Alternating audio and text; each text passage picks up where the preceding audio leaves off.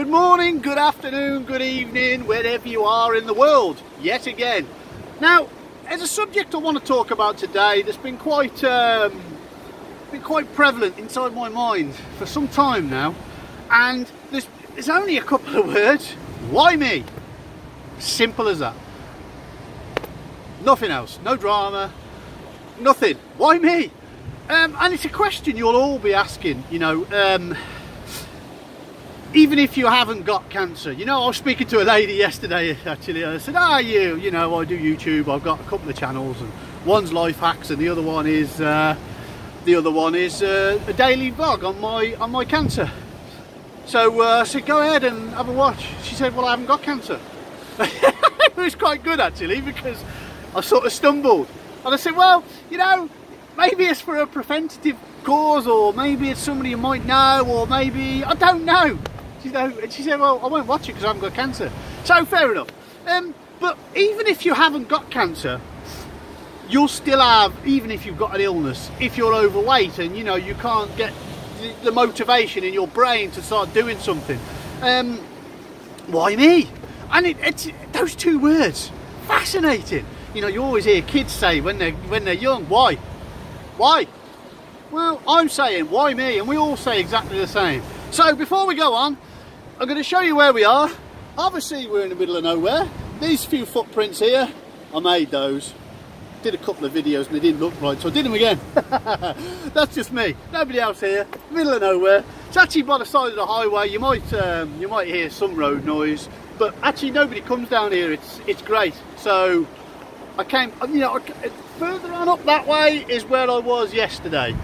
Um, I've come further towards the east now, this uh, west, sorry, uh, today and it's just a bit more quiet. It's lovely. So why me? I don't know really. It was um, it was a question I asked my consultant. As soon as he diagnosed me or as soon as he gave me the first bit of information I needed to take in I said to him doc why me? And he said you know what? It's just tough luck I said, what do you mean? He said it is, it's just tough shit. And that's exactly what he said. It was it was brilliant. It was very good. It, and it is, it is just tough shit in a, in a sense.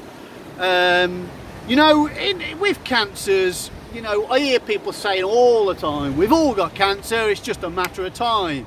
No, you haven't, it's a load of nonsense. When you research how cancer starts, then you'll understand who does or who how or how you get or how it forms. We all have, you know, it's a particular way that cancer forms.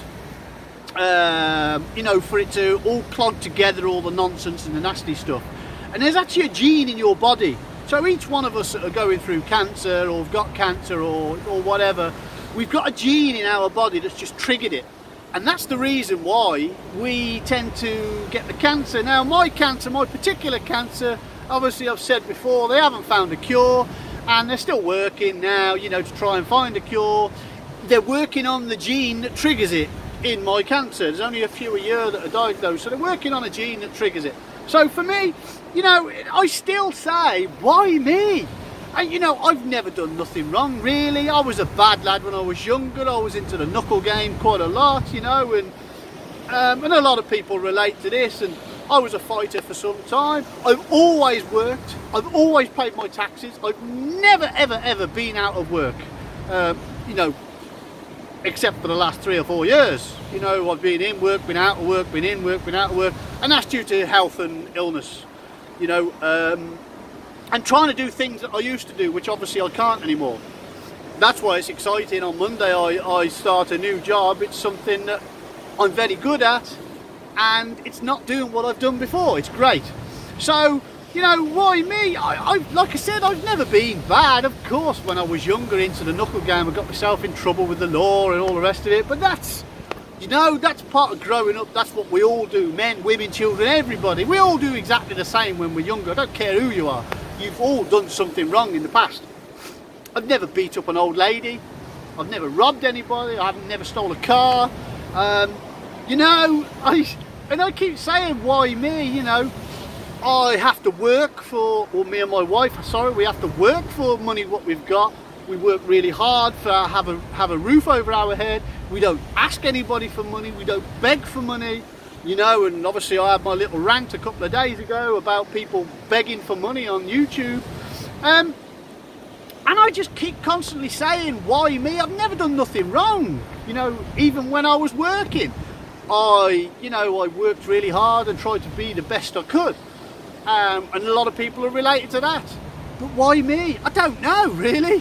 Why you? You know, why all of us? It's, I think, is like my consultant said, it really is just tough luck. Um, you know, but I think because when you walk down the street, you'll see people, overweight people, smoking, drinking. You think, God's sake, you know, you've got a belly hanging around your knees, you're hardly walking, you've got bloody water retention around your ankles because you're so overweight and you haven't got enough flow going around your body. Um, you eat rubbish food, you drink far too much, and you smoke, and, and you think, well, I don't do any of that. I've never done any of that.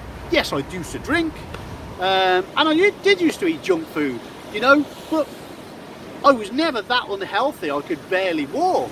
You know, I see people, you know, I live in Spain, you know, very close to the beach, and I see people coming on holiday from different countries and they hire a damn wheelchair, an electronic wheelchair, just to go from the hotel to the beach, for God's sake. There's nothing wrong with them. You know, I've worked in a hotel and and and these people have come up and they've said, oh, I'd like to uh, hire a wheelchair, an electronic mobility scooter. I said, oh, right. Said, we need to see your your disability badge. Oh, I'm not disabled. Oh, right, oh, right. Oh, we, we generally keep them for the disabled. I know, I just want it, you know, because it's it's easier, isn't it? And then when I get bladdered, I can just get back. Oh, it's just, they disgust me, these people. And there's so many of them that do it. They're just lazy in life. And I, you know, and that's another one. Why me? You see people that have got cancer, you know, and they don't give up certain things, you know, be it happy pills, be it drink, be it junk food, or all of the above.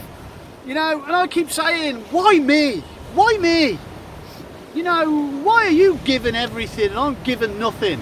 Why me? You know, is it because I tell the truth? I don't know. Why me? You know, and that does annoy me. You know, I, I know people that do play the system. They play it very well, and I sort of take my hat off to them. I do get a bit annoyed. I got to be honest, because that's just me. I get annoyed uh, about silly things, and looking at things like that. Why me? You know, you see people that have gone through gone through chemotherapy or gone through cancerous drugs or had implants or something like that and they constantly drink alcohol. Now for me it's just it's just madness. The reason why it's madness is because you've had you've had um, you've had drugs put into your system to counteract against the cancer you've got to fight it to make it go or to shrink it to such a point where it's non-existent why on earth would you put bloody alcohol in your system to fight against the medication you just put in? I don't get it. You know? is it just me? But why me? You know, junk food is a massive no-no in my opinion now. You know, I I never go to McDonald's. Even yesterday, me and my wife and a couple of friends, we went out yesterday and um, we went round the mall because it was very bad weather. We'll go back again later because I've got to go buy some new shirts and things. And um, we went to like a, a, more, you know, KFC was, was jumping out all over the place. And and you got Burger King and everything is jumping out all over the place. Please come to us. But I wouldn't do it. There was another one called, uh, I can't remember what it's called, Sierra Nova or something like that. It's more of a healthy a healthy um, option, you know, they make you wraps.